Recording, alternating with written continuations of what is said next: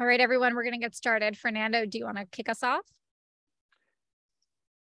Yes, thank you. Um, so welcome everyone to the second session of uh, the BITSS uh, Open Research Seminar. Uh, we're delighted that, that you could join us. I, am Fernando Hoces de la Guardia, a project scientist at BITSS.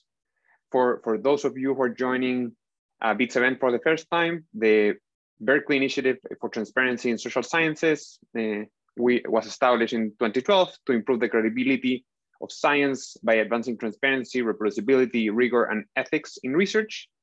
We do this by generating evidence, uh, doing meta research, by increasing access to open science education, doing uh, seminars like this uh, and other events, and by strengthening the, the scientific ecosystem through different initiatives. Uh, the BITSS Open Research Seminar, ORS, is generally supported by the Templeton World Charity Foundation, and it's a new webinar series to promote uh, and share knowledge about the use of tools and practices for transparency and reproducibility in social sciences. Today is our second uh, of four scheduled events. Um, today, we have the, the, the, pleasure to count with several team members of the DIME team at the World Bank who are going to be talking about the great work that they do about normalizing reproducibility uh, and the experience of the World Bank uh, Group and DIME. Uh, they have been doing this for years. Uh, they're a great partner of, of BITSS, uh, and I'm very excited to see what, what, what, what, they, uh, what news they have to share with us on, on this space. the next two sessions, one on November 17th, is going to be about hash linkages for administrative datasets with Carla Palos Castellanos from the California Policy Lab. And on December 6th, we're going to have how to evaluate journal implementation of open science standards, the trust process by Sean Grant from the University of Oregon. Uh, for more details on the uh, research seminar, uh, please visit our, our website and uh, uh, subscribe to our newsletter and or follow us on social media to be up, up to date on the latest news on, on BITSS and the, and the research seminar. Uh, thank you very much for everybody who submitted proposals. Uh, we received several uh, very interesting uh, uh, proposals from researchers, practitioners, and students around the world. And we encourage those who weren't selected to apply for the second round uh, that will take place in the winter and spring during 2023. thank you to our speakers, to our staff who organized today's seminar, and to the Templeton Charity Foundation, and for those of you to to uh, attend uh, to this uh, event. we're, we're grateful to be working with all of you. Now it, it is my, my pleasure to introduce the first speakers of today's session. from from joining me today, it's Maria Jones, a survey specialist from the Impact Evaluation DIME unit at the World Bank. Uh, at DIME, she coordinates DIME analytics and an initiative to increase and standardize quality across the DIME portfolio and works on agricultural impact evaluations. Uh, Maria? Great, thank you, Fernando, and thanks so much to BITSS for organizing. We are really excited to uh, join for the seminar today and to talk more about reproducibility practices within DIME. I'm gonna share my screen here. Uh, Fernando, do you see that screen? Just to confirm? Great, okay, uh, so let me jump in. so first, a little bit of context. DIME uh, is the Impact Evaluation Department in the World Bank. Uh, so what we do is to generate high quality and operationally relevant data and research to transform development policy, help reduce extreme poverty, and secure shared prosperity. So our portfolio, as you can see here, um, is global, which spans all six regions where the World Bank operates and covers diverse sectors from agriculture to transport, water and sanitation, entertainment, education, and, and many others. And Dime has grown really quickly. Uh, I joined in, in 2009, uh, and over the past 13 years, we've gone from just a handful of staff to almost 300 staff globally, um, managing a $230 million program, working across Hello. 62 countries, um, and uh, have quite a um, now have quite a large research team. And as we have grown, we have uh, thought a lot about how to maintain and ensure you know, research quality as well as reproducibility and transparency and, and credibility. And so to that end, uh, back in 20, 2016, uh, Dime invested in uh, creating a centralized unit that was tasked with developing systems and building capacity to ensure that all of our research meets, you know, kind of a, um, a you know, best practice standards um, and that it is reproducible and transparent and credible. And that team is Dime Analytics, which is the, the team that I lead.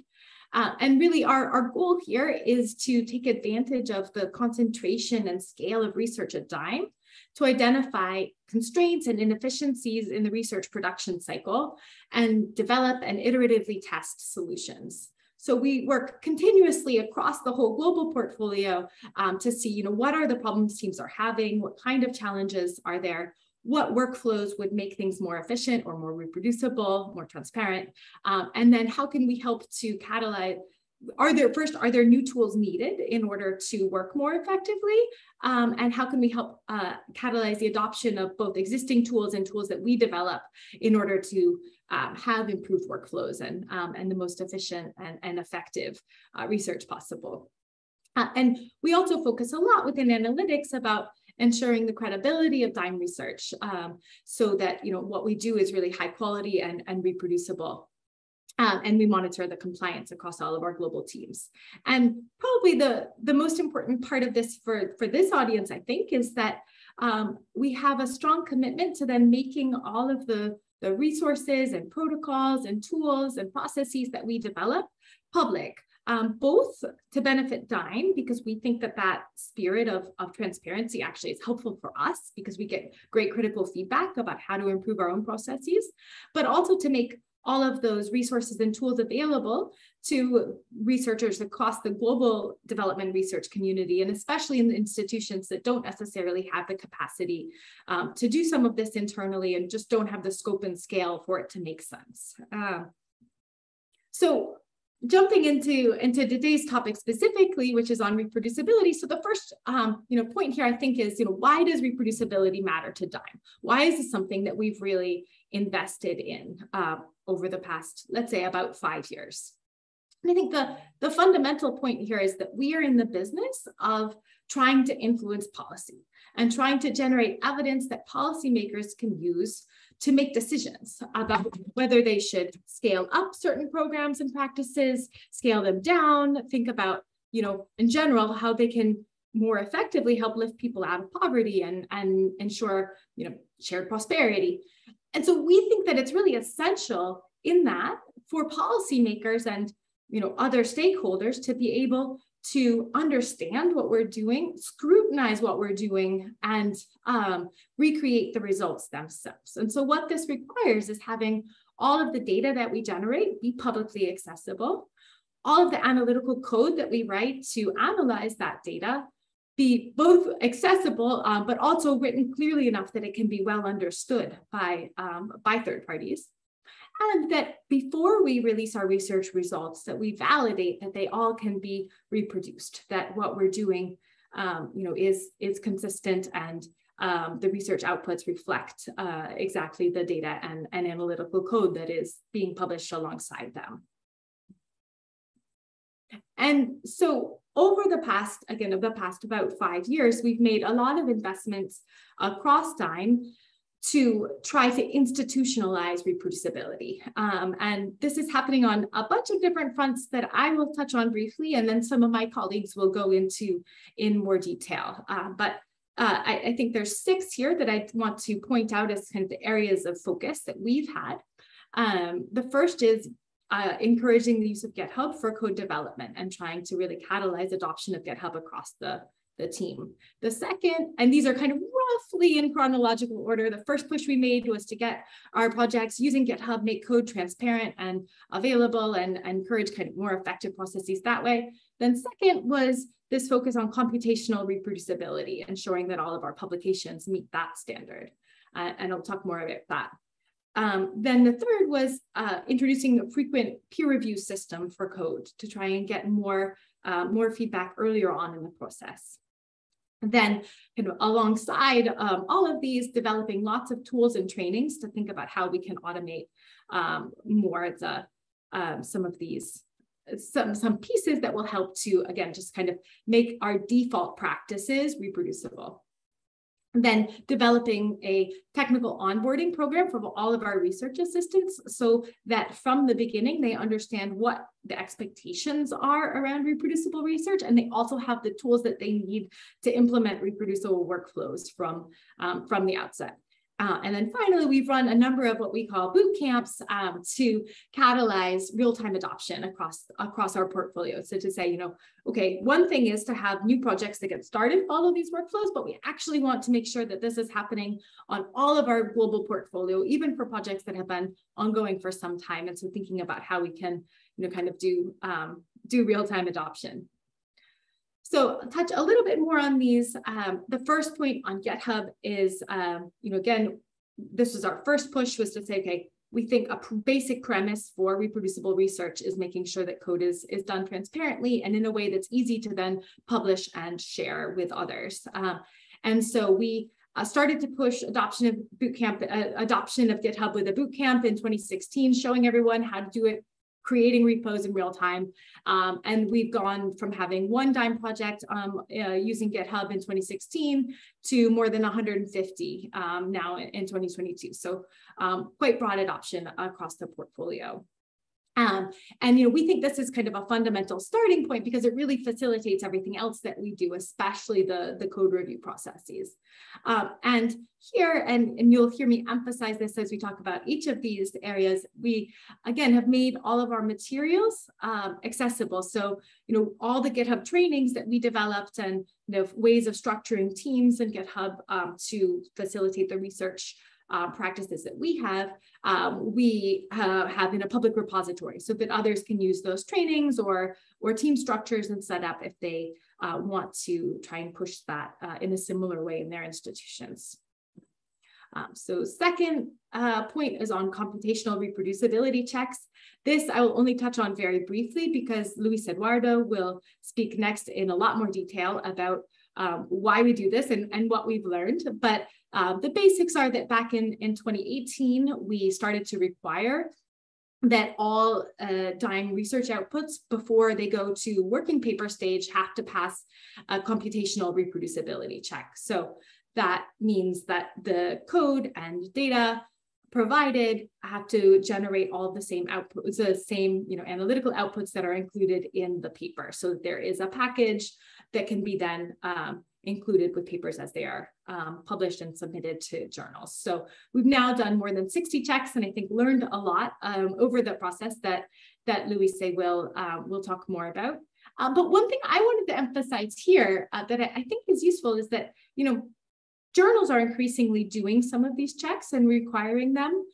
I think it's less common for research institutions to do them in-house. Um, but our experience has actually been that it's really, there's a lot of benefits of doing it in-house. First, just because we improve the quality of the papers that we're putting out. We catch a lot of mistakes in-house um, and that's useful and important to um, before these go out even at a working paper stage. Um, but I think probably more importantly is that we are able to learn from those reproducibility checks at a portfolio level and think, you know, what are the common issues and mistakes that we see?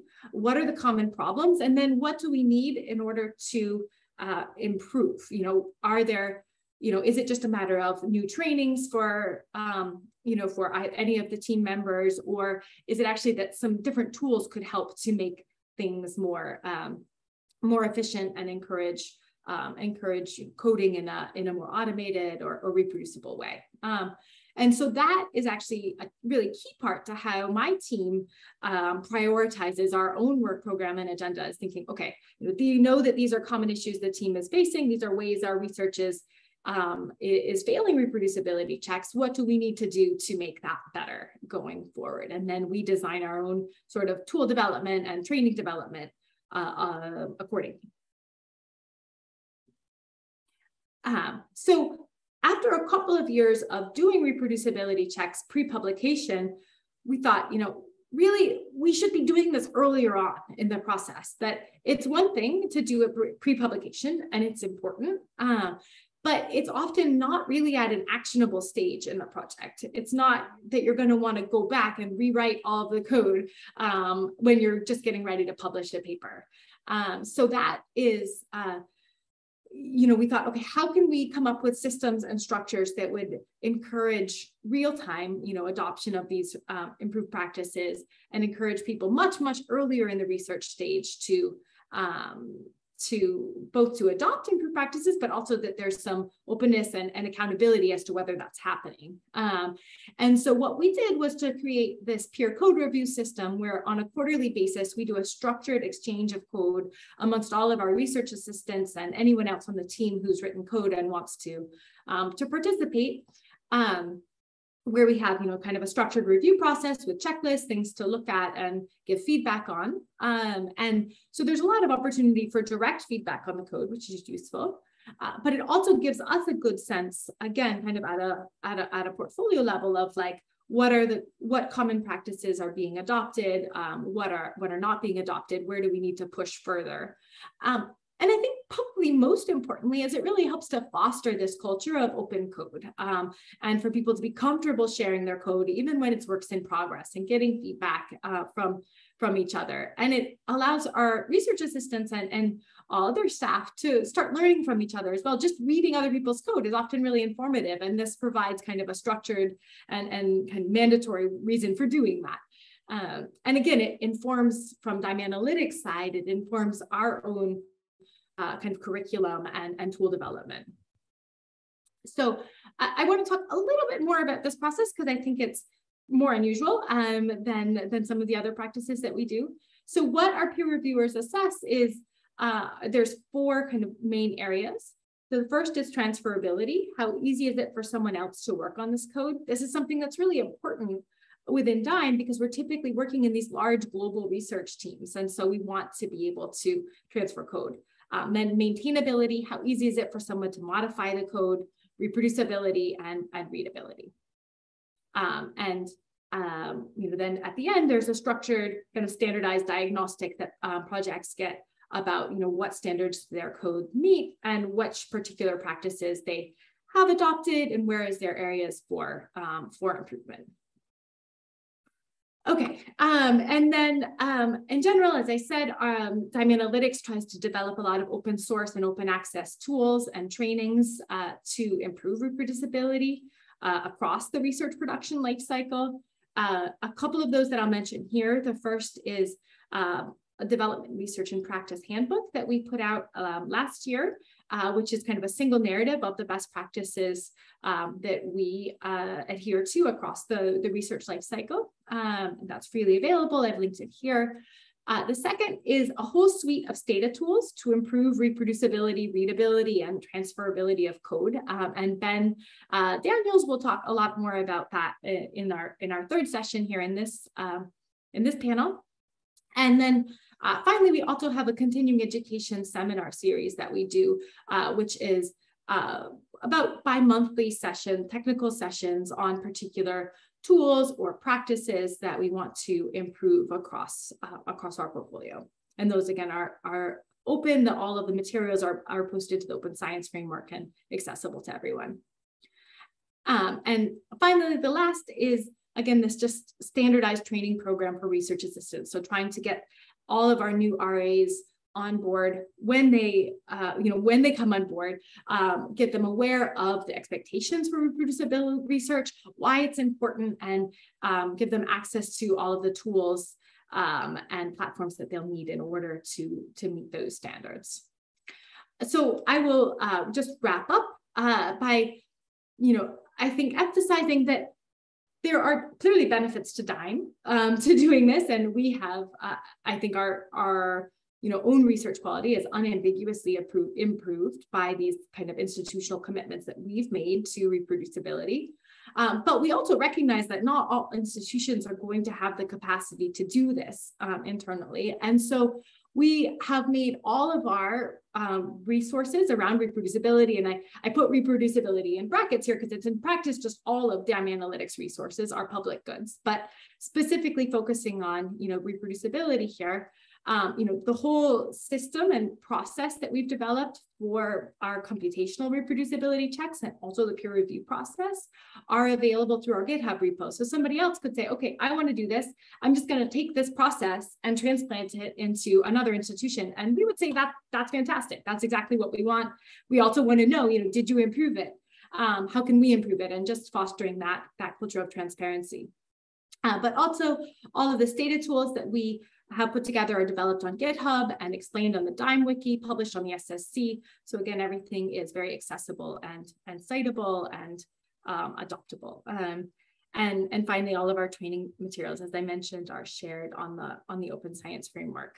So I, I think I went a little bit over my time, but hopefully not, um, not too much here. And with that as an overview, I want to hand it over to uh, Luis Eduardo from, from the DIME Analytics team to talk in um, quite a bit more detail about the computational reproducibility checks that we do, what that process looks like, and, and what we have learned. So Luis, over to you. Thank you, Maria. I think you need to stop sharing your screen so I can I can share mine also. Ah, okay, there we go.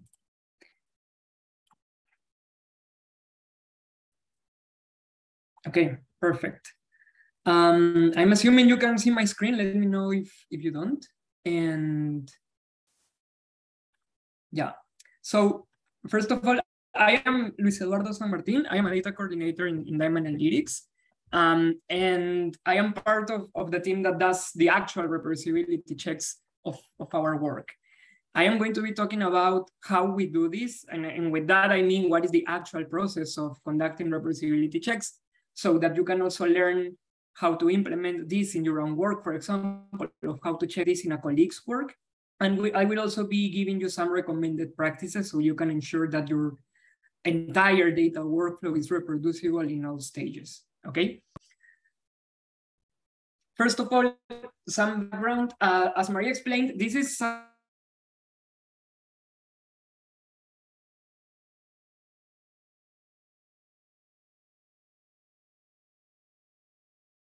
journal publication stage that all of the projects and all of the papers that come out from our department uh, go through.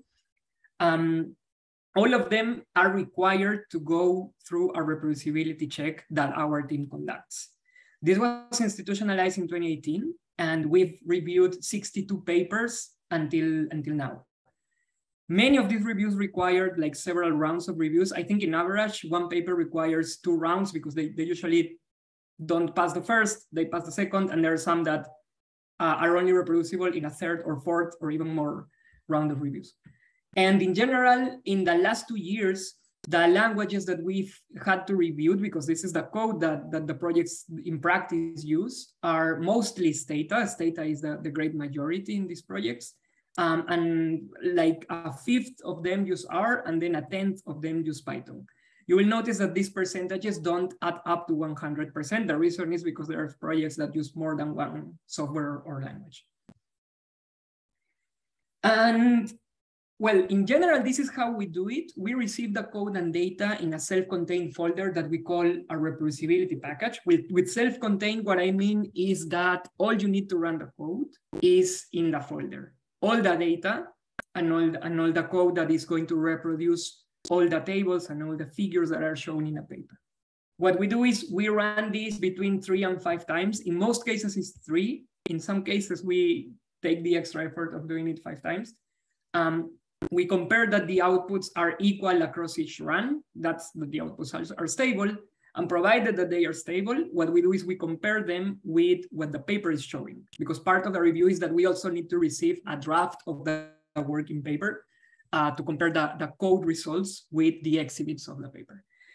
Um, in practice, like a third of the projects pass in the in the first run um, then 22% of them require minor changes. What we call minor changes are changes that we as reviewers can detect and correct.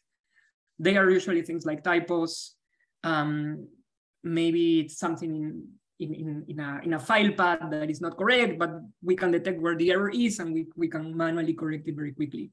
Or maybe a package that is not installed, those things that are relatively quickly to correct.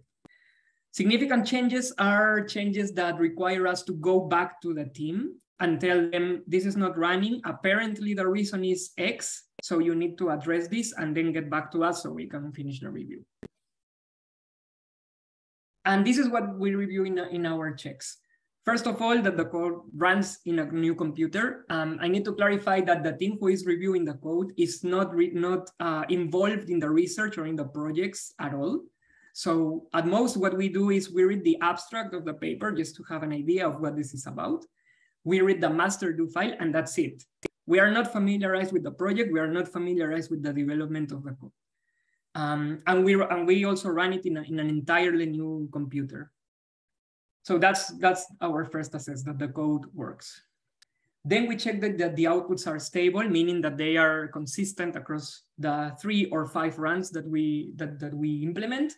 And then provided that the first two are true, um, we also check, this is usually a manual check, that the outputs that we have generated with the code are exactly what the paper is showing also for all of the tables and all, and all of the figures that the paper shows. That includes uh, appendix, an online appendix, everything. As a result, we give back to the team these review outputs. Uh, the one in the left is a standardized checklist that basically is a, is a very quick summary of uh, first the code runs, and second, the master script, it, well, the code in general is recreating the outputs as they are shown in the paper. Then we also have a few checks that are recommended practices that make our life as reviewers easy. Uh, but they are not, it's not mandatory for the teams to comply with the recommended practices the required practices, they, they are mandatory. And this is just that the first that the code runs, and second, that the outputs reproduce as they show in the paper. Then what you can see in the right is our second output of the reviews, which is a detailed document that has coding suggestions for increasing code legibility, code efficiency, and it also contains a detailed list of all the outputs that we found in the paper and what's their reproducibility status. So if an output reproduced, what we're going to note here is that it just reproduced. Um, if it reproduced, but it's obvious that there are some, for example, style changes between what the code is producing and what the paper is showing. We also know that, but that in general is, is in line. That doesn't break our reproducibility standards. Um, if it's only like style, you know, differences. But if there is something like the code is not stable or the results do not, the table, a table does not reproduce as shown in the paper. Or it reproduces, but the paper show, shows that there is there are additional rows that seem to be manually added. Those things we mark as not in compliance with our reproducibility standards. And the rest of, of, of my of, of these slides, in the rest of these slides, I am going to show you how you can implement implement this by yourselves. And in general, this is following these three, these three like general guidelines. First of all, keep your code simple and well organized. For example, include comments in your code, keep it modular. With modular, I mean, try to have one do file for each exhibit that you are including in your paper. Like for example, if you have table one, create a do file that, that is table one dot do if you're using Stata. If you're using R, create a script that is table1.r and do this for every one of your, of your exhibits such that your entire result is modular. This is going to keep your code simple and well organized. Um, our second general guideline is streamline everything that you can. Don't rely ever on a copy paste workflow for this um, and use LaTeX, for example. If you can use something else like that is even more streamlined, like for example, a markdown implementation in a software like R Markdown, that's even better. I'm gonna talk about that in a bit. And also automate the reproducibility checks as much as possible. There is a part of the reproducibility checks that we do manually, and I'm gonna tell you what that is. But in general, we try to automate the checks so that they are they are not uh, prone to human error. Um, and and that, that that's what we try to keep in our in our workflow for reproducibility checks. So first of all, how do you run code in a new computer? This might seem a little bit obvious, uh, but there are but well there there are good practices for this. First of all, to check that it runs in a new computer, you should create a self-contained reproducibility package this is just a folder that has all your scripts, all your data, and also has the subfolders that, that follow your, the, the creation of your outputs.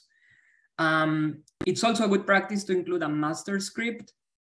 If you're using Stata, this will be a master do file that are going to run all the necessary scripts that, that create all the, all the outputs of your code. And also a README file that will have some explanation of what the code is doing and what each script is doing. Yeah, so use a master script and make sure that your, your master script is complete, meaning that if you run the master script, everything is going to be created. Every, and with everything, I mean everything that you're showing in your, in your um, a very simple version of a README, a README is a recommended practice for this, looks like this. Um,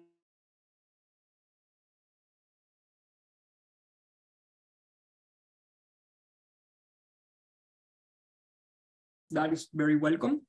But at the very least, you should have, have a README as a recommended practice that is explaining this part. Then in your master script, a recommended practice is that you set all critical software configuration, like for example, versioning, uh, matrix size if you're using past versions of Stata. Um, and this should be included in the beginning of the master do file. Then in the master do file, you should also install all external commands that your code is doing, because remember, if you're running this in a new computer, chances are that that computer is not going to have all the external packages that you are using. The same applies for R, for example. And you should make sure that your master do file is handling all of this. And then of course, define folder paths and try to keep this as simple as possible. You will see in line 24 here, this is defining a global master that, and ideally this should be the only time that all the code and all the do files and all the scripts are changing and setting the, the master script. Sorry, the, the master path. Um, everything after this should be relative to the master path so that for an external reviewer is as streamlined and as simple as it can be. Okay, then for coding stable lag outputs, the way you check this is you, well, it's, it's very basic, really. You just run your code a number of times and you check that all the outputs are consistent. You can do this manually. It will be a bit tedious, I can say that for you.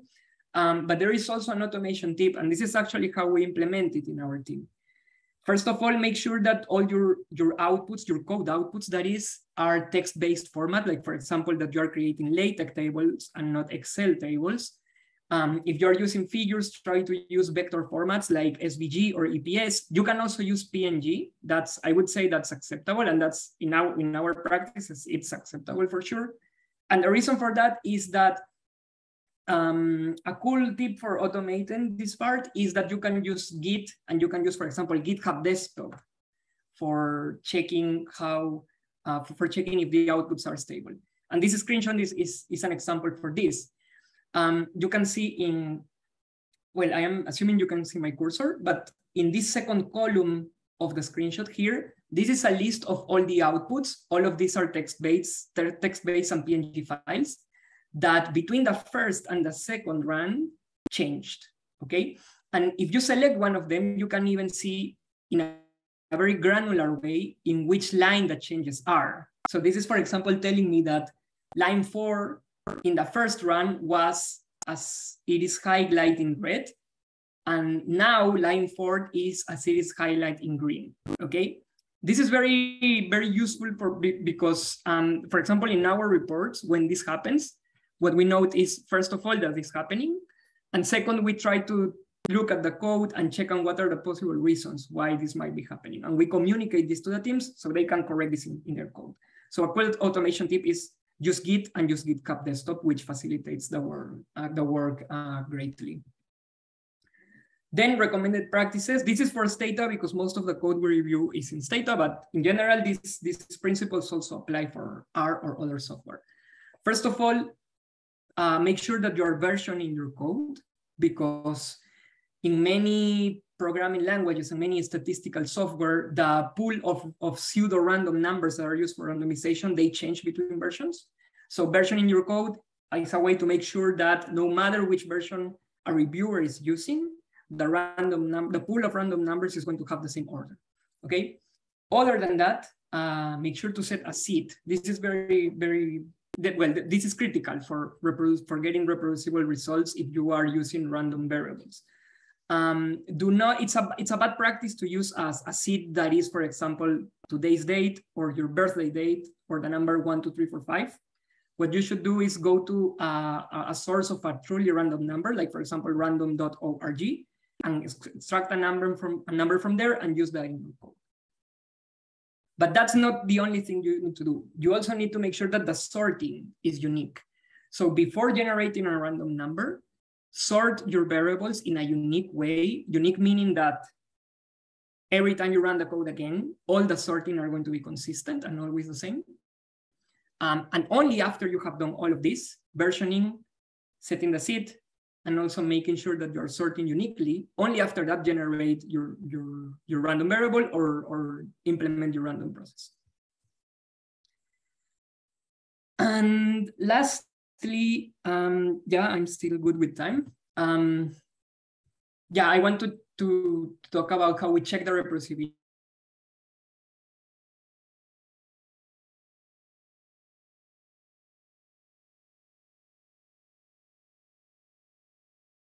Um, if you were expecting a trick to automate this part, um, I'm afraid that we don't have one until now, at least. Um, in general, what we do is we manually go through every code output and we manually corroborate that this is the same as what the paper is showing, as you can see, which is what, I'm trying to show in this example. But there are definitely good practices that can help your, you increase the chances that this is happening in your research results. First of all, organize all your outputs in a single folder. Like remember in your self-contained reproducibility package, you will have an outputs folder, and inside that outputs folder, try to divide everything between figures and tables. If you also have something like results in the main section of the paper, you can also use those divisions um, and versus, well, a folder like that, and also including a, a folder that goes for an appendix and for an online appendix, and between each of these subfolders, you have figures and tables, and that, that is a good practice for division.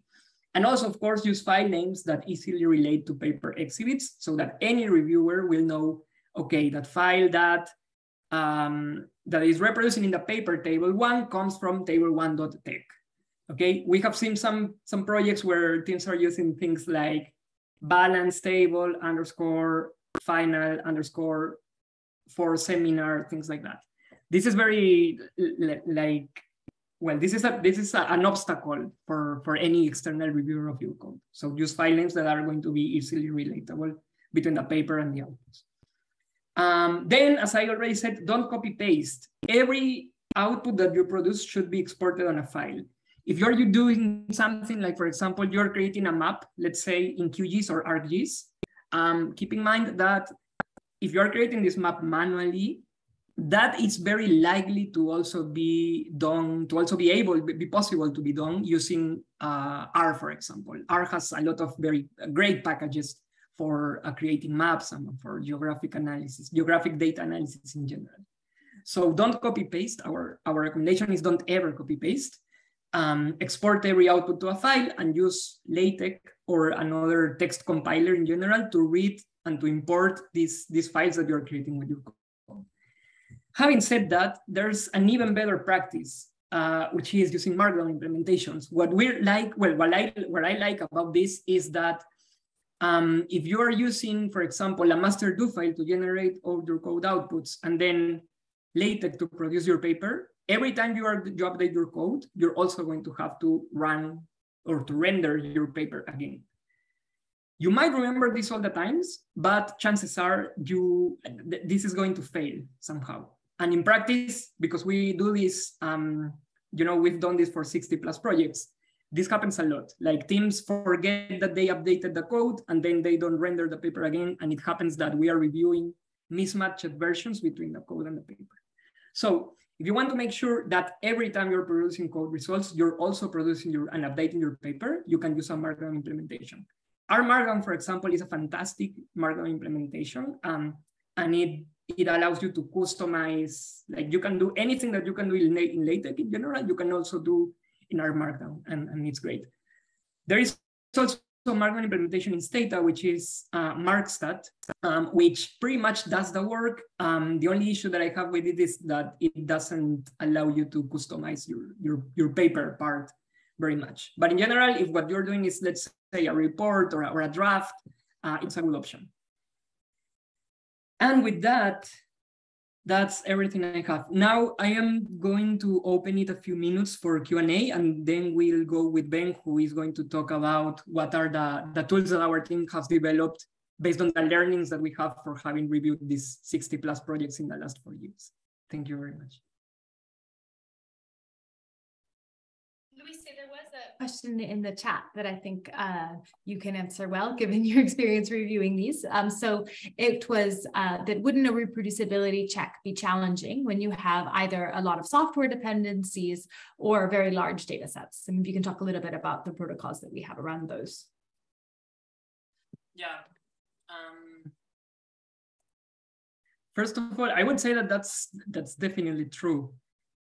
Um, in our in our experience, we only we, we only have received packages that use that yeah that run code in Stata or in Python.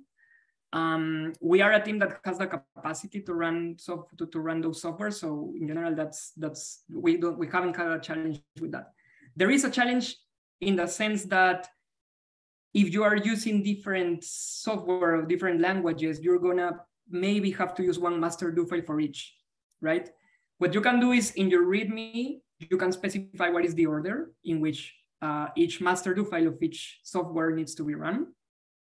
Or you can also do, there are, for example, implementations of running software, of sorry, running code of Stata in R or running R code in Stata. And you can use that and implement that in a single master do file, either from Stata or from R to streamline all of the all of the results that you're producing in different codes. Um, and also, well, if with software dependencies, what you are referring to is external packages. Like for example, if you have to install a lot of external packages to run a code in R and also, or, or a code in Stata or a code in Python, um, I would say that is very much, it will be complicated if you're using a lot of external packages, but it's doable. And if you keep a good code organization, you, it's possible to organize all of that in a using your master do file and using a, a good reproducibility, reproducibility package.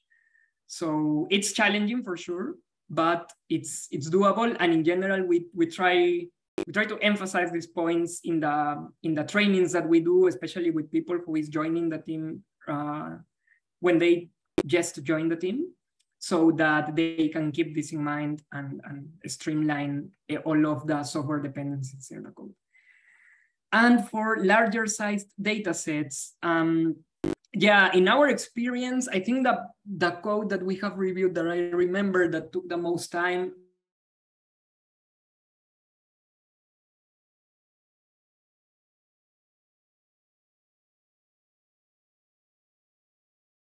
Um, and it ran, you know, two days the first time, then two days the second time, and two days the third time.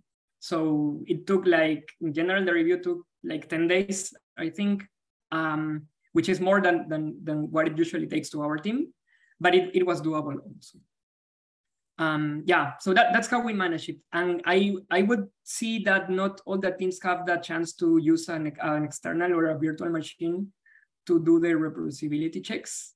And yeah, in those cases, maybe you can achieve a second best, which would be, you know, review the code manually and make sure that all the practices that we are listing here are being complied in, in your code. That's that would be a second best, probably if you don't have the chance to run a code that is very large in your own computer.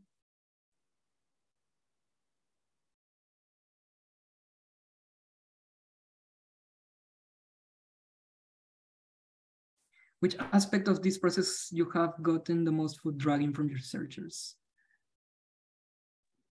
I can maybe jump in there. Um, and Luisa, then and feel free to to add too. Um, I think that you know I would say overall, I think it's been really important to have a bit of a of a mandate from the top on all of this to have you know kind of our our directors say this is something that we are going to do at a department level and then um, and then you know our team is tasked with actually making that possible um, but I, I do think that there's a bit of a need for for catalysts because some of these practice some of these you know sort of practices do involve um, you know researchers changing the way that they do things um, or adopting new tools or or new platforms a bit. Um, and it's um, you know I, I, do think that can be challenging. We have tried to make it as simple as possible um, to um, you know basically wherever we see bottlenecks to try and make tools right that will make this easier and make a default um, that's easier. Um, but you know probably i would say areas where i think you know it's fairly easy to get you know adoption. I'm just sort of jumping jumping in here but i think you know where like we've had really good adoption of github. I think quite good adoption of using master scripts to organize um, reproducibility packages. Um, and uh, you know then some of this like for example what's going on in the chat right now of talking about how do you really manage you know like um, you know, Hadoop files and data, or how do you, you know, there's some of these kind of, as you get more into the details of problems that are, um, I think, harder to to address, but also because people just are not a, as aware. So, Luis, do you have do you have any thoughts to add? Yeah, um, specifically to R Markdown, uh, well, first I need to clarify. Markdown is something that we've been pushing in our team, uh, but we've we haven't been really very successful. Like I, we haven't had a review that that uses only R Markdown. That is something I would like because it would make our lives as as reviewers easier. Um, but it hasn't happened. Having said that, I do agree that identifying errors and bugs, for example, if the code breaks, it would be more difficult to identify where it is where it is breaking if we were using R Markdown. Um, but still, I, I think it's possible. And our experience, our, our as code reviewers, I think we would be probably would take more time, but we would be able to, to identify where it is breaking. And yeah, well, and also I need to say, usually the reproducibility packages that we review have, you know, that they are sourcing and like embeddedly many different scripts. And I think when you're sourcing scripts, it's also quite it might be quite difficult to identify exactly in which line and in which script the an error is coming from. Um yeah but it, it will take you more time but you can you can do it uh, anyways. And i would say something that we also ask teams to do i i am sure not all of them not all of them do this but we usually ask them to first try to run themselves the code at least once in a new computer to see if it runs uh, before giving the review to us. So if you are familiarized with the code and you run it in a new computer, even if you're using Markdown, I think you might be able to identify where the error is, is coming from. And yeah, so that, that would be my take on that. Yeah, but definitely it would be interesting that they start submitting projects in R Markdown to see if if what you point out would would actually happen. Like if it's like more more taxing for us to identify where the error is coming from versus using a script implementation instead of R Markdown. There are a couple more questions in the chat, um, but I would suggest we we do hand it over to Ben now, just because I don't want to miss any of the of the content, and we'll try and address those those questions in the chat, and then hopefully we'll also have some time um, at the end of the session. We'll keep so we'll keep these these questions for then, but we will certainly um, answer in the chat if we can't answer uh, live. But uh, Ben, for now, why don't we we hand it to you? Great, thanks very much. Um, I just want to start by saying that's um, really uh, a, a, great summary of, of what we do. And one thing that I think always surprises people when we give these kinds of talks is kind of how low level on low tech the most important elements of this process are. And um, you know we'll hear a lot at some of the like you know you see the cutting edge conferences about reproducibility um, a lot of the work from BITSS as well which is very high tech uh, a lot of you know dashboards and r coding and package management and um, containerization and it's super cool um, and really wonderful stuff to see on the the cutting edge of what can be done with big processes. Um, but in, in, the main our work at dime analytics because we have so many projects most of the time loss in our process comes from very small, very routine things that repeat over and over um, at a large scale across a large number of teams, um, some of who are doing very cutting edge stuff, but all of who have to do the basic stuff in every project. Um, and as you undoubtedly noticed from uh, Luis's uh, talk here, while it's quite easy to code hacks around it from the project side to code well or code badly from the project side, evaluating it once it hits our desks in terms of uh, doing a thorough analysis of the reproducibility of the quality of the code. Um, and I think that is a, a, quick one that I can respond to here is that, yeah, we are centrally reviewing these projects um, when by we, I mean Luis primarily at this stage. Um, and that is a lot of work. Um, it becomes, it's not a task that is extremely easy to automate. Um, it involves potentially manually reading a lot of low level code to find potential issues and to look for mismatches in outputs. And so the work that we've done in terms of developing tools for the team, uh, which I'm about to, to launch into, has in large part been about making those basic tasks uh, easier to write and to review. So in addition to um, our book, uh, um, uh, sorry, I almost called it by the by the original uh, draft title. Um, development research and practice, the Dime Analytics hand, uh, the Dime Analytics Data Handbook, which uh, we is centered on, is available for free online. We have a number of tools, trainings, resources, some that are publicly available, some that are done inside our team to um, basically encourage standardized and reproducible code structures from the day that people are onboarded into Dime teams.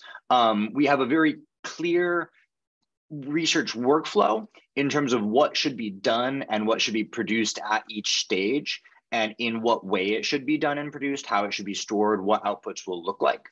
Um, this is built from our side, from a large lab side, because we have um, research assistants and staff working on multiple projects at the same time, working across multiple teams at the same time, turning over staff across the life cycle of a project. I mean, this is a, you know, it's a, it is a organized corporate type of endeavor to to run this place, and um, that's a big change from the, you know, master and student type of uh, PhD ivory tower research organization of, I would say, only about 10, 15 years ago. Um, and I think this is more and more at least coming to dominate in in our field.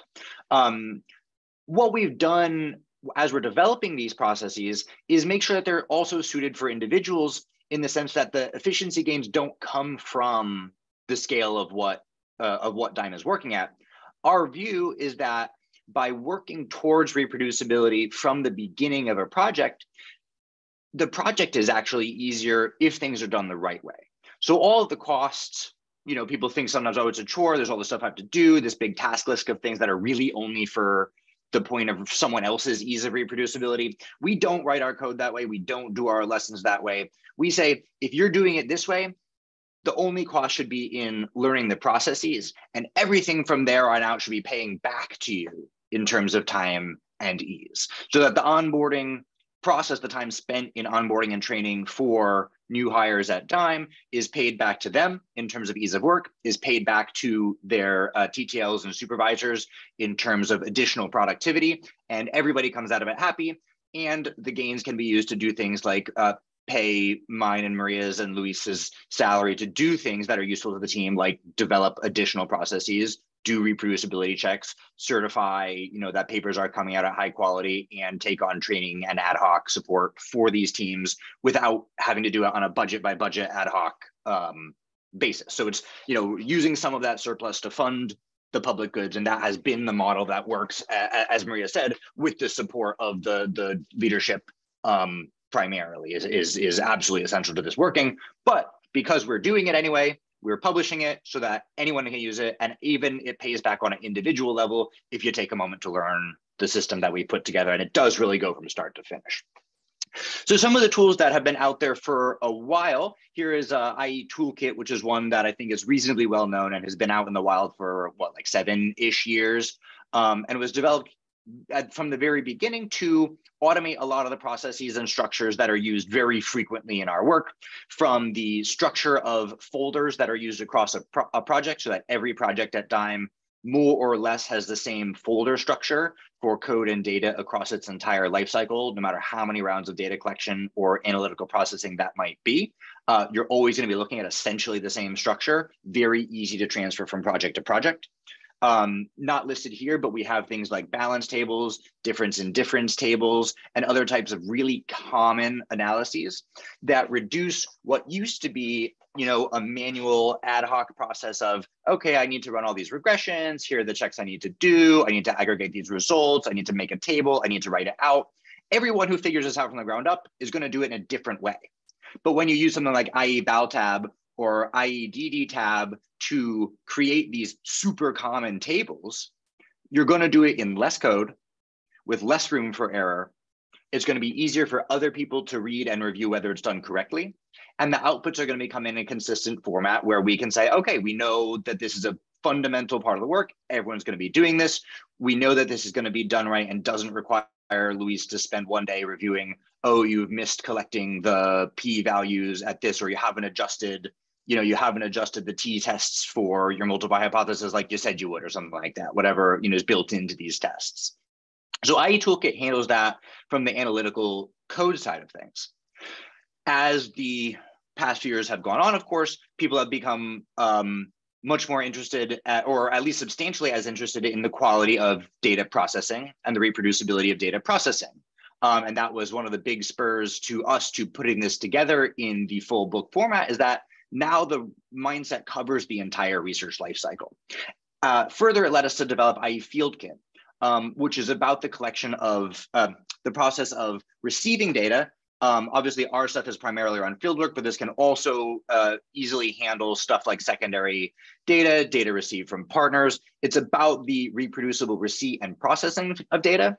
And in the same way as IE Toolkit is about reducing the amount of manual, bug-prone code that individuals have to write, iFieldKit does the same thing for data intake. It allows you to quickly make corrections to data, remove duplicates from data, uh, change metadata such as labeling, recoding, um, value labeling, harmonizing data sets, and creating code books, which are a pain to build from the ground up. But if when they're reduced to just one or two lines of code with substantial uh, self-documenting metadata as an IE field kit, it becomes quite easy for us to check. We can build into all these tools automatic error checking so that we know that simple errors such as ordering of renaming and relabeling and recoding is not being messed up. And we don't have to spend time reading thousands of lines of very low level code to make sure it's being done right. The program will simply stop and say, you've done this wrong uh, before it hits our desks. So again, saving everyone time, increasing the quality of the documentation. And now I'm not going into these in detail, but please check out, we have a, a please check out the book. We have these on GitHub um, and I feel because in the Stata Journal and there's lots of blogging on uh, development impact about all these tools. The result is that this here, which probably would have taken thousands of lines depending on the size of the data set previously, now fits in 15 lines um, and cleans up everything and we don't have to read it or make sure that it's doing the same thing uh, each time. And it's much, much easier for someone who's writing the code to do it know they're doing it right and participate in things like the peer code review before things are handed up the chain to publication and errors are found much later in the process where the downstream consequences are serious. These things can be caught much earlier on and everyone can go home at a reasonable hour and sleep at night. Um, in addition to that, we also train and have uh, style guiding, um, which is one of the first times that that's been released in a Stata context. Uh, it is opinionated, um, it is the way that we do things and we want people to do things. Um, and the reason that is, is because it makes it easier for us to share code among ourselves and to review it. Uh, you don't have to agree with our opinions, but you do have to respect them and we would prefer if you followed them. Um, so simple things like what Stata has built-in commands that we don't like to use. Stata has abbreviations that we don't like to use. Um, in part because it works well with code that we have, but mainly so that everyone's on the same page if a different group takes a different style guide and a different consensus around what they're going to do, fine, that doesn't bother me. But if it's going to end up on my desk or on Luis's desk, uh, it's really helpful when things are in a format that we anticipate um, and the same for peer code reviews as things are being passed around the office. Um, we don't want people spending their time getting creative in the sense that this is a computer. Computers should be doing the boring work, and we have more time for important thinking tasks like actually doing research, uh, development of handling data, of doing modeling, of doing statistical inference, of running our projects, um, the things that computers are quite bad at. To support this styling guide, um, a number of members of the team, including Luis Seguena specifically, have developed a, a linting command in Stata, which just reads your do file and tells you whether we'd like it or not. Um, it involves basic enforcement of things such as making sure that code lines aren't too long, uh, that that for loops are using descriptive names, that indentation is generally in the right place, um, that we're not using implicit logic, and things like this um, that are easy errors to make and that again may work functionally in stata but could induce errors that are hard to catch that would require us to read the do file more closely if this isn't done um, or and actually to parse it. As in for example if you're using the the dot operator where you should be using the missing missing function that means that we actually need to read that and find it rather than having the lint command automatically flag, hey, this can induce errors. And either you shouldn't be doing that, or you should check it before it gets to us, or we can very quickly catch, oh, there are potentially um, error ridden practices in this code and kick it back. So that's the basic level stuff. Now I have some exciting stuff uh, for everyone, which I think uh, was was advertised on Twitter. And I know got a lot of uh, a little bit of, of passing around is that uh, we're trying to put ourselves out of a job constantly, but we seem uh, utterly unable to do it. Um, we've now come up with a way in beta to do a substantial amount of the checking of reproducibility errors in Stata code uh, automatically. This is in our internal beta. We're going to be hopefully releasing it soon-ish. Um, it's got bugs. Nothing's perfect, uh, especially in Stata. When things hit the real world, they tend to break um, but we're in, intent on making it work. Uh, if you see this, this is this right here is just example bad code that I've written to show what bad code looks like and why it's hard to catch. It is not easy to see necessarily that the sort seed is being used unstably on line 19. It is not easy to see that it's being used unstably on line 27. It's not easy to see that the seed is being used unstably on line 23 before being set on line 25. Um, these are things that are hard to catch. Uh, as Luis said, we can check outputs on a run by run basis using version control, but it's difficult to then trace backwards to where in the code those instabilities are coming from. So we decided to automate that process because it turns out to be something you can do, um, although in a limited sense, and I'm happy to discuss some of the technical limitations on that outside of this forum um, with people who are super interested because we have more things that we've tried to solve and not been able to do. This is a command called iedorep.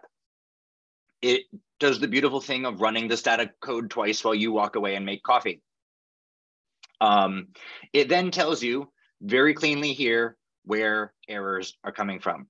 Um, because it can run the code twice and track the underlying state of Stata's memory at all points, it can tell you did the data have the exact same form at the same at the same point across both runs? Was the seed at the same point at every point across both runs?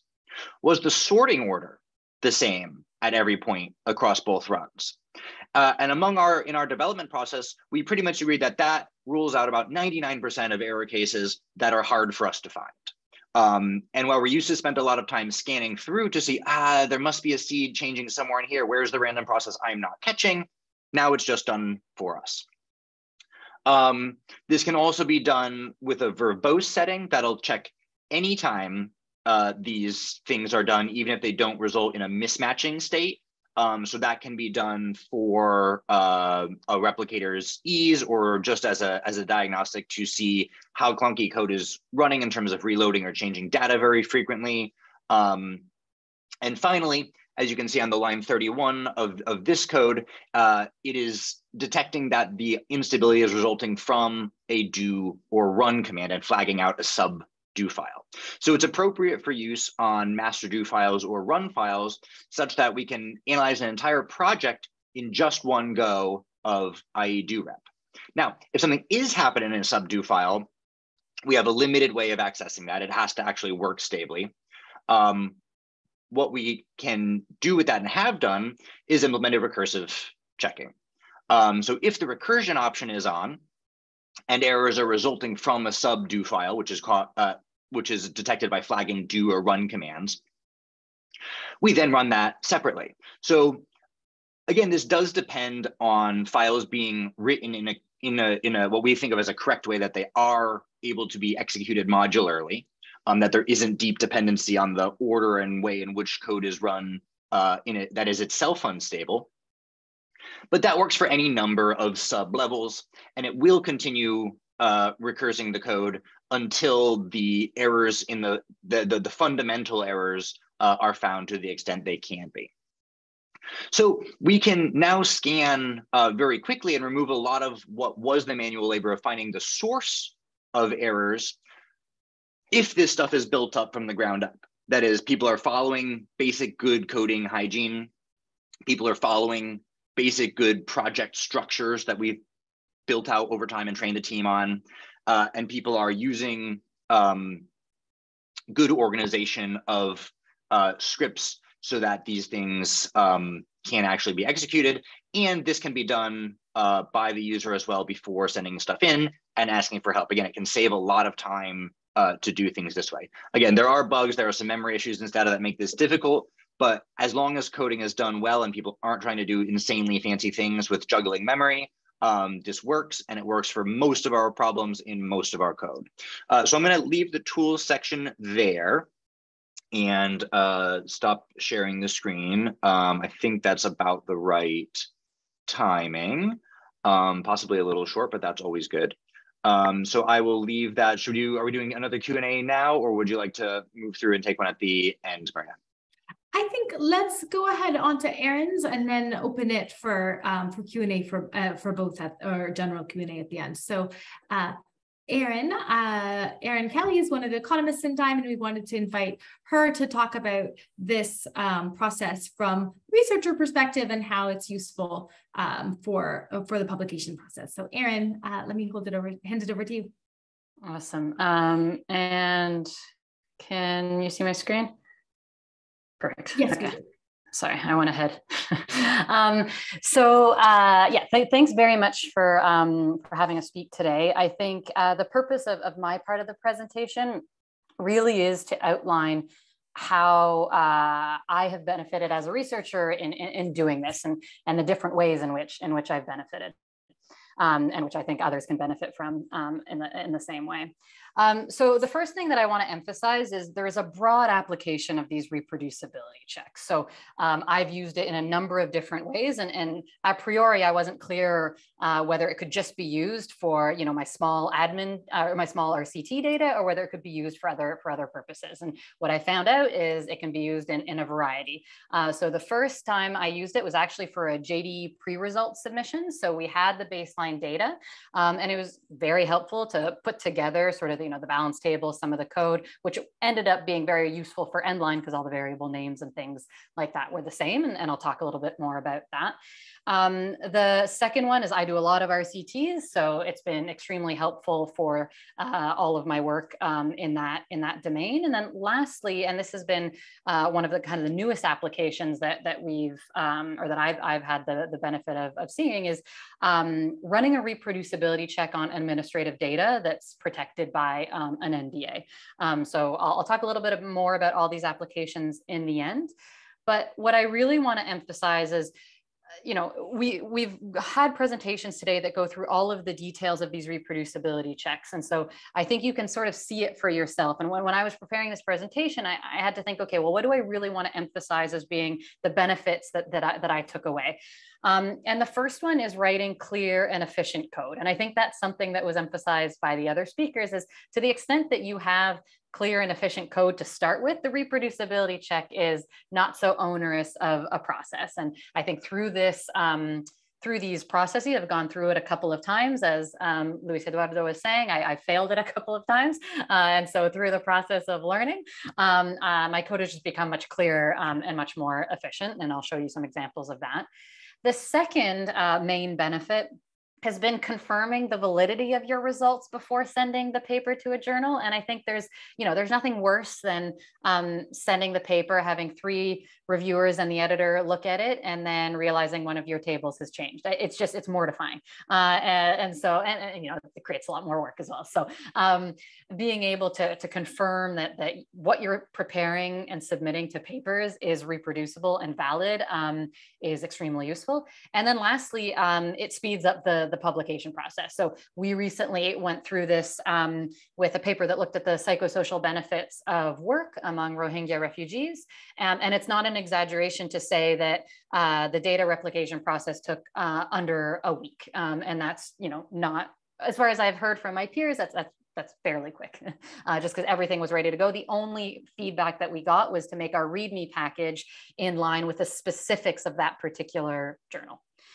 Um, Okay, so in terms of the first benefit, um, writing clear and efficient code, I think this was touched upon by, by the other panelists, but um, I want to emphasize it from my perspective as well.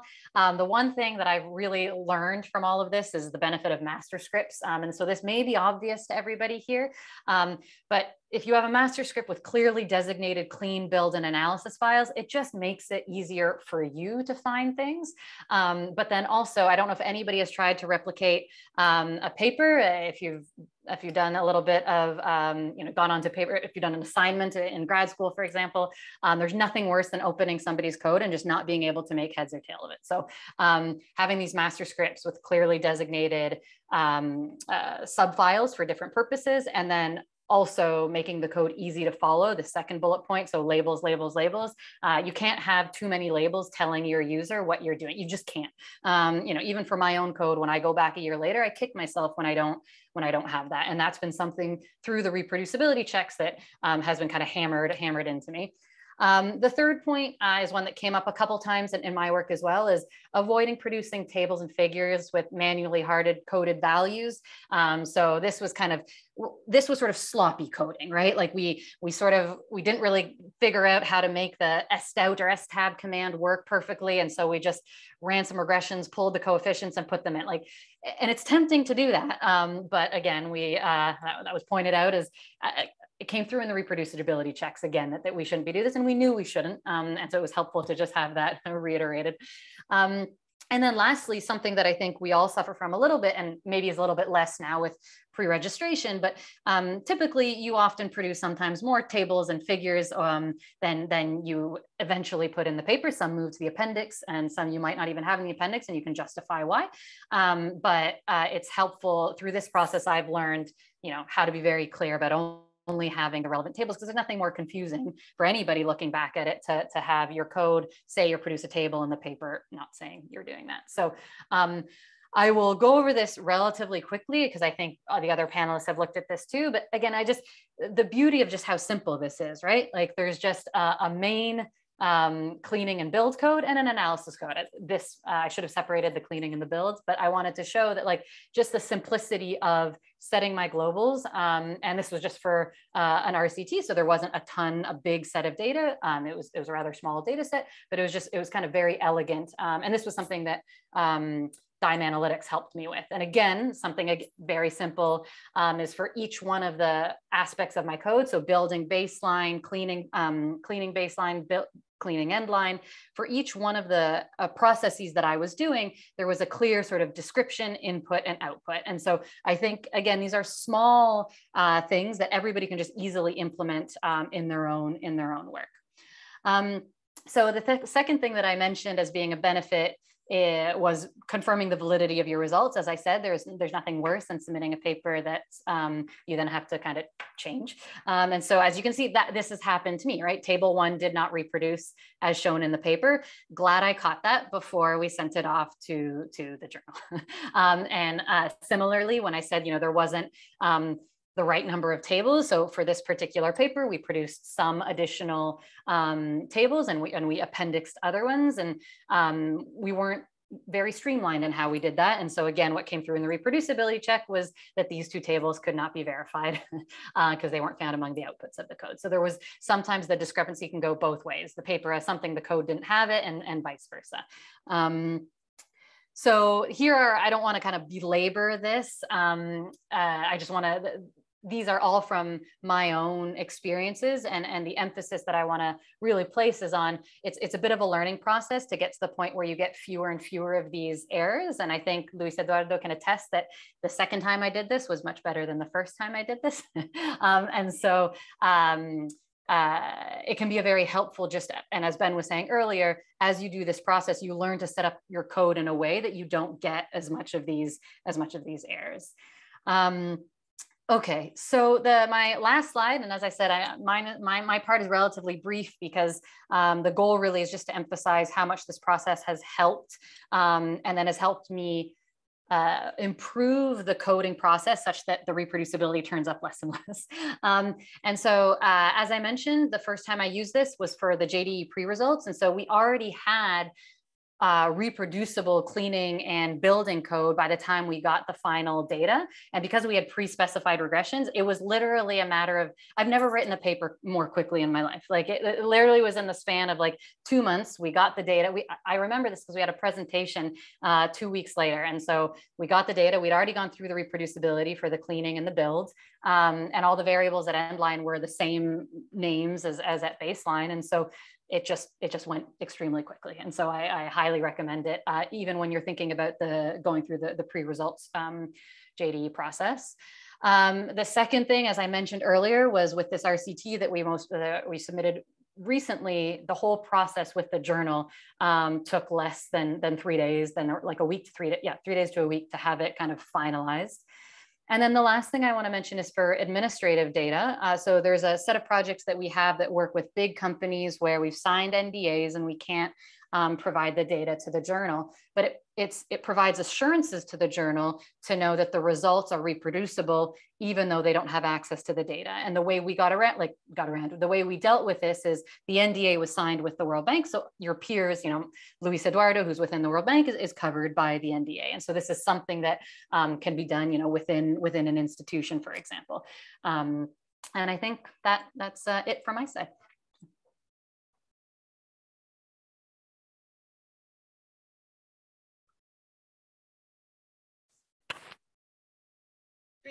So much, Erin. Um, so now uh, we wanted to open for Q&A with, uh, with anyone in the panel. And so please feel free to unmute yourself and ask us questions or ask them um, in, the, in the chat and we'll all be happy to, uh, to discuss further on any of these points.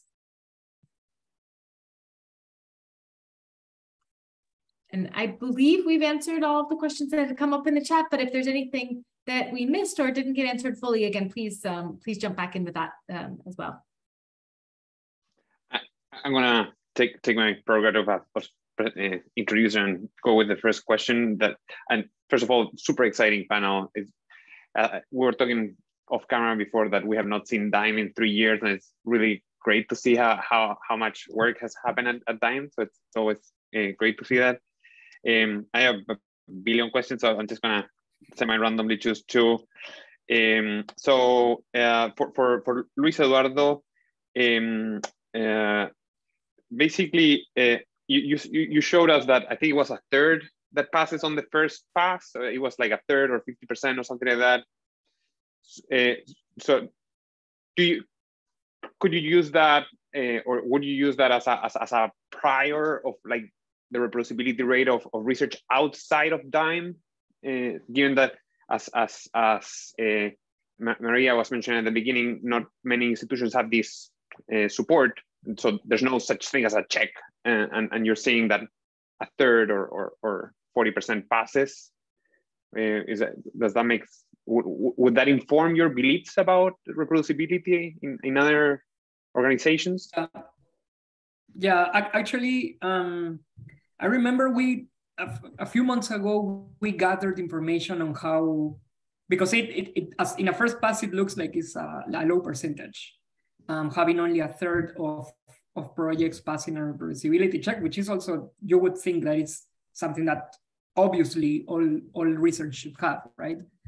But there are some papers that do this across a number of published uh, yeah, projects in, in economics journals at least, and they obtain fairly similar results. Like around two thirds of uh, published works don't pass rep basic reproducibility checks. And with basic, what I mean is that someone else who is running the code in a new computer is able to reproduce what the paper shows. So this is very much in line with what you see in, at least in economics research.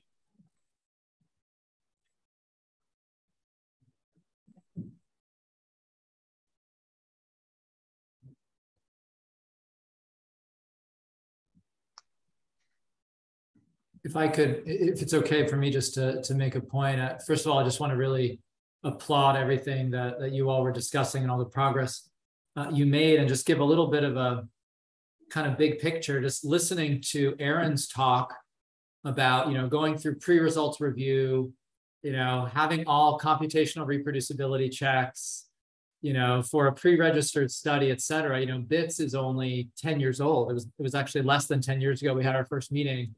All of those concepts and all those words you talked about would have been completely foreign. Like no one would have understood them in development economics 10 years ago or eight years ago or six years ago. So to think that within that very short amount of time, all of these things have been mainstream. They're like improving the quality of your work. Erin said, you know, it's like papers are being written up quickly. We're catching mistakes. We're, um, and the fact that a group as influential as Dime has brought all these practices on board and just mainstream them is like amazing to me as someone that, you know, uh, is just thinking of, of the last decade of progress. So, you know, again, I'm just really moved to hear about all the progress that's been made and really excited for other organizations to follow your example and, you know, anything that we at BITSS can do to facilitate that, we will, and we're already, you know, uh, you know, brainstorming ways to do that. So just, you know, huge congratulations. And I, and again, I just wanted to step back and say, wow, what a, what a change in, in a small number of years.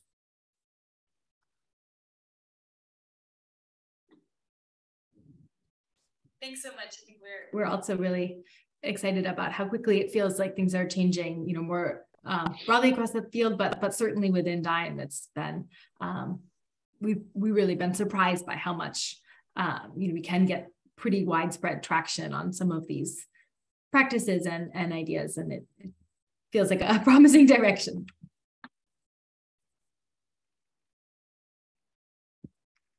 I have a sort of half formed question, which is that I feel like there's a subtle distinction between reproducibility and reusability.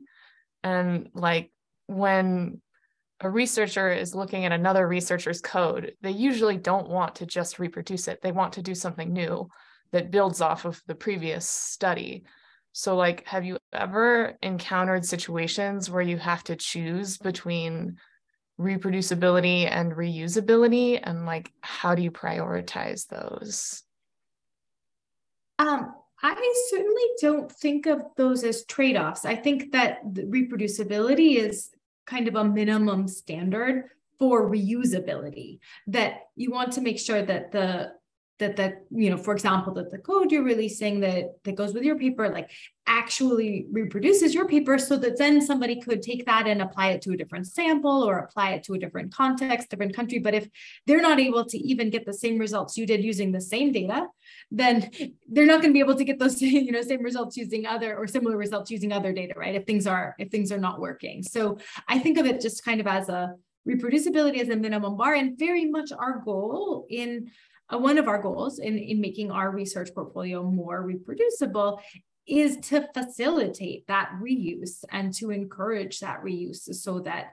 you know studies are replicated in, in different contexts or with with different samples. Um, and we just think that it's that having you know code that we know works you know within the particular study context is a is a, is a minimum bar to to then having further reuse. Is it okay to just jump in Please.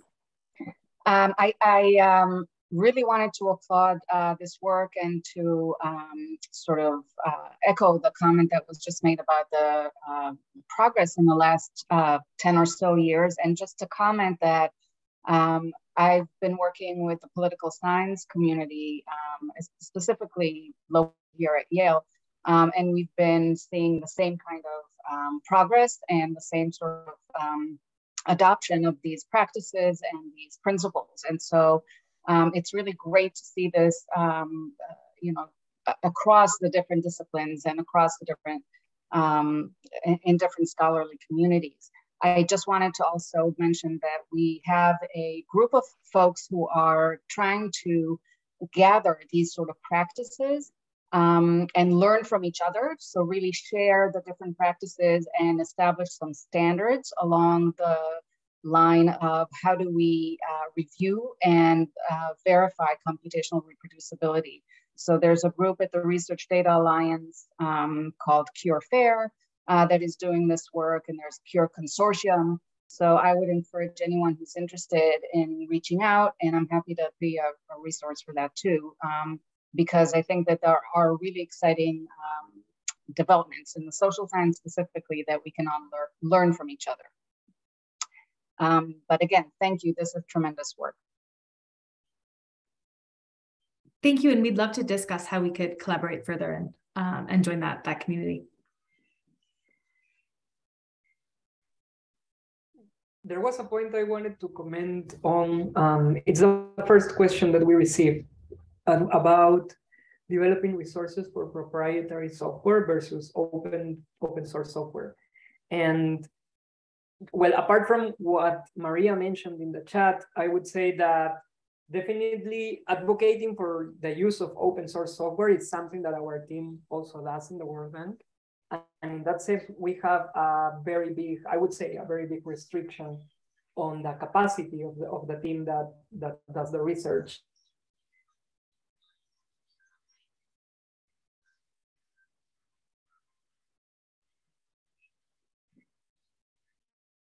what usually happens is that new the, the principal investigators of the projects know this other software. And yeah, that's why teams in general prefer to code this data. That's in practice what we observe. And that's why uh, almost all of our resources that we've developed are dedicated to Stata because we also have to tailor to what is happening in, in our team and our department. That said, um, we, as I said, we are also advocates for the use of open, open source software. And in that line, we have developed a couple of free trainings that we conduct in our team and also more broadly in the World Bank that are supposed to encourage the use of especially R and Python. And these, these trainings have open access materials that anyone can access. And the materials are designed to be self-explanatory. So you can I'm going to share the repositories of the materials in the chat. So if you want to take a look at it, um, yeah, you can. And also the materials are a, an MIT license, so you can also modify them for, for your own use. And yeah, for the sake of more open, more use of open open source software.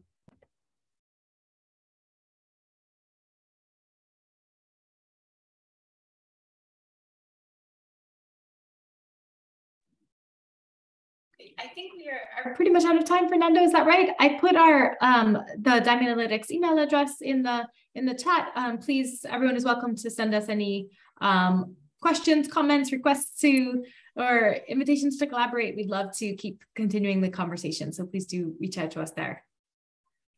Yes. Uh, yes. Thank you. Thank you very much for the, such an amazing presentation. Uh, I really enjoyed it. Uh, uh, hope others uh, did too. And and please join us uh, next time for in our third session on November 17th on hash linkages for administrative datasets. I think that, that, that could be a nice follow-up to this type of conversations where the challenge is how to achieve reproducibility when we're, we're working with data we cannot uh, share publicly. So it's going to be another exciting presentation. Looking forward to see you there.